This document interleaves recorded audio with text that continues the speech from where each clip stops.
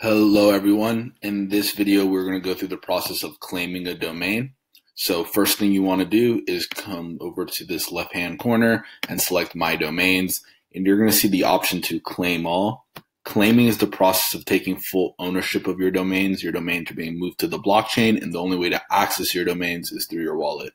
So you're going to select claim all and the first step you want to do is create a wallet.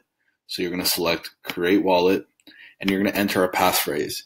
We recommend 13 characters, but again, it's whatever you're most comfortable with. Select something that you think you can remember, and then also write it down on a piece of paper and store it securely. So I'm going to select the passphrase right now.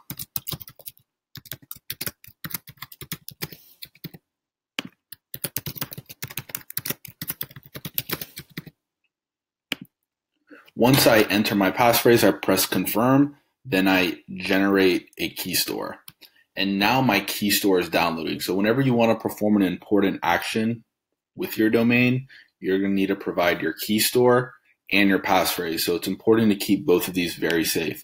So your key store is this file that you just downloaded. So some security tips that we recommend is you can keep it on a separate USB. You can keep it in a password protected folder, whatever works for you. Um, you can duplicate it and just make sure that you always have it uh, readily available because if you want to change your crypto addresses or transfer a domain, you're going to need to enter this information. And we'll see what that process looks like right now. So we're going to select continue. And now since we created our wallet, we can import our wallet. So we press import, upload the key store file, which is the file we just downloaded. So go to downloads here, open, and then enter our passphrase, right? So it requires both of these steps to unlock our wallet.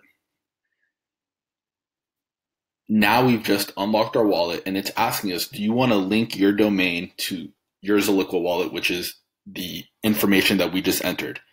People have been asking, well, how do I verify that this is my Zilliqa wallet? Because your Unstoppable Domains account also serves as a self custody wallet. So, how do you verify that this is your address? Well, you can go to this website here, Zillet, and a link to this is in the tutorial, and I'll put a, I'll also put a link to this in the description of the video. And you can upload your key store file. So, I'm going to press import file here, select wallet file, downloads, and upload. It's going to ask me for my key stored again. I enter that, and I select unlock wallet. And what you'll see is the address presented here, and I can go back to my Unstoppable Domains account and verify 16A3 FGRQ. 16A3 FGRQ.